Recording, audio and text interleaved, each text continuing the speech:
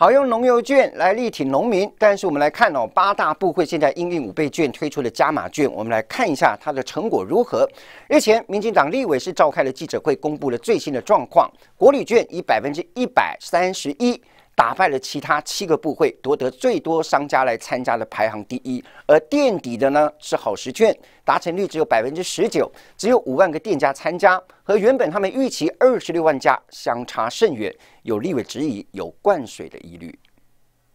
加码券大灌水，合作商家快扩大。民进党及立委齐呼要求政府应该加快加码券的合作商家数，因为摊开数字来看，实在是不好看。立委许志杰公布了八大部会加码券参与的店家数排行前三名，分别为国礼券达成率为百分之一百三十一，安元券百分之九十六，农油券则为百分之九十。但其他部会的成绩遭到质疑，有灌水疑虑。好，以好时券来讲，现在只有五万家可以用，也就是说达成率是十九趴。好食券当初预定参与的店家数高达二十六万家，但实际来参与的只有五万家，达成率才百分之十九垫底。而另外被点名的还有体育署发出的动资券，仅一千四百多家参与，跟当初设定的五千多家相差甚远。体育署回应，把原因归咎在防疫政策还有气候变化，包括配合防疫，还有就是呃入秋，因为今年我们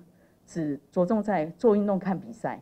这这两两项就是跟它相关的一个业别，那所以目前就是在我们十二项业别是扣除到运动用品，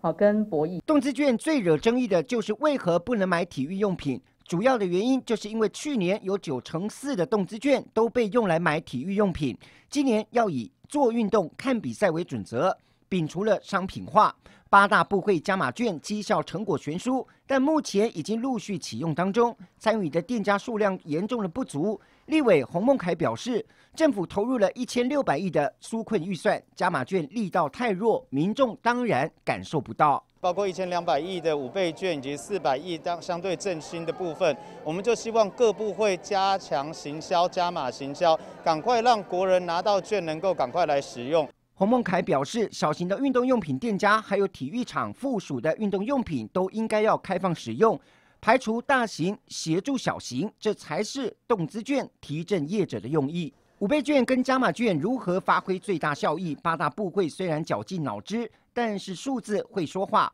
无论是业者或者是消费者，实际操作之下才会知道结果。但目前已经开跑加码券参与店家数被质疑疑似大灌水，这政府恐怕得要加快脚步调整体质。连经卫视张玉成、郑仁宗台北财报报道。